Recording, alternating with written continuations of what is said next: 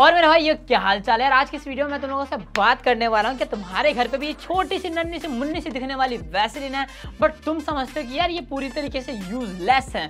But यार, पहले मैं भी ऐसे ही समझता था बट जब से मुझे इसके हैक्स के बारे में पता चला है ना, तब मुझे पता चलता है, ओ भाई साहब, ये कितनी अच्छी चीज़ है। तो आज की इस वीडियो में हम बात करने वाले हैं वैसलीन के कुछ ऐसे मस्त मस्त हैक के बारे में। तो यहाँ पे जो सबसे पहला हैक है, वो आ जाता है इसका। अगर तुम्हारे पास कोई इस टाइप के लेदरिक टाइप के शूज़ है और तुम चाहते हो भाई, उसे थोड़ा चमकाना, उसे थोड़ा साइन देना तो तुम क्या कर सकते हो? वैसलीन थोड़ी सी लेके उसको ऊपर लगा के और थोड़ा सा जो कपड़ा होता है उससे रब करोगे ना। देखोगे जो तुम्हारे ऐसे शूज़ है लेदर वाले, वो शाइन करने लगेंगे। भाई जो कि मतलब काफ़ी ज़्यादा अच्छे से शाइन करते हैं। मैंने खुद ने ट्राई किया था, जो काफ़ी ज़्यादा अच्छा है। एंड जो हमारे पास नेक्स्ट है, वो आ जाता है कि अगर तुम कभी भी ये जो वैसलिन है ना, इसको अपने आईब्रोज पे लगा रहे हो तो इससे तुम्हारी आईब्रोज है, वो घनी रहना भी स्टार्ट हो जाती है। एंड जो नेक्स्ट है, वो आ जाता है परफ्यूम अब यार जस्ट लाइक अगर तुम कहीं भी परफ्यूम अपनी बॉडी पे स्प्रे करने जा रहे हो ना अंडर आर्म्स वगैरह को छोड़ के और परफ्यूम स्प्रे करने जा रहे हो तो उससे पहले तुम लोग क्या करना पड़ेगा ना? मान लो तुम लोग रेस्ट पे स्प्रे करने जा रहे हो। तो इससे पहले तुम्हें क्या करना पड़ेगा?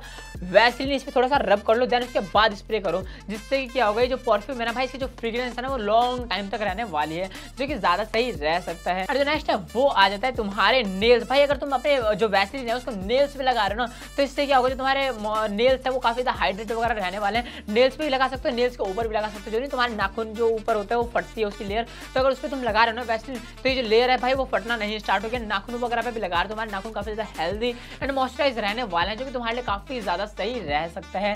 तो बस यही कुछ दो चार हैक्स थे, जो कि मैंने को तुम लोगों को बताने थे। एंड हाँ एंड हाँ अगर तुम लोगों को ये हैक्स अच्छे लगे हो तो कर देना वीडियो को लाइक कमेंट शेयर सब कुछ, क्योंकि ऐसे एक्साइटिंग एंड अमेजिंग वीडियोस तो हम तुम्हारे लाते ही रहते हैं। भाई चैनल को सब्सक्राइब करना मत भूलना, क्योंकि भाई, ऐसे एक्साइटिंग अमेजिंग वीडियोस तो मैं और झड़ले से और तेज़ी से लाने ही वाला हूँ। तो दोस्तों, तब तक इतना ही, मिलता अगली वीडियो में। Bye bye